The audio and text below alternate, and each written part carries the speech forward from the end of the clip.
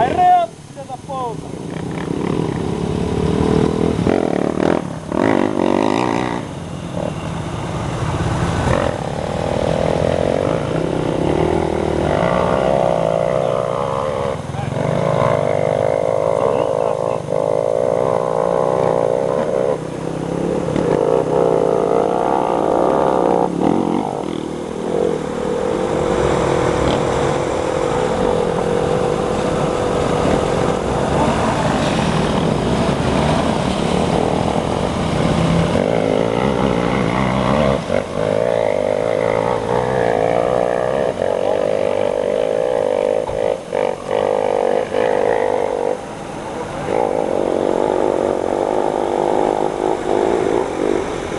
Olha, vai buscar o teu também, senão para puxar.